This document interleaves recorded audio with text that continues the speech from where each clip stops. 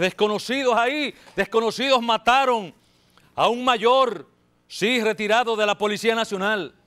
Datos preliminares indican, hombre, que el fallecido respondía a Eugenio Gómez Rodríguez, aproximadamente 74 años de edad.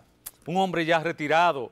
Mm, Algunos testigos de la tragedia señalaron que los delincuentes mm, abordaron a Eusebio el cual se dedicaba a la venta de, de artículos diversos y al preguntarle por el precio de un pantalón, ahí mismo aprovecharon para atracarlo. Pero, pero, el ex oficial cometió un error.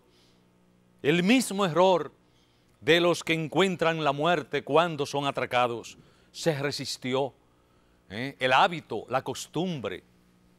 Estamos hablando de un hombre de 74 años de edad, formado para eso, para defenderse en situaciones límites.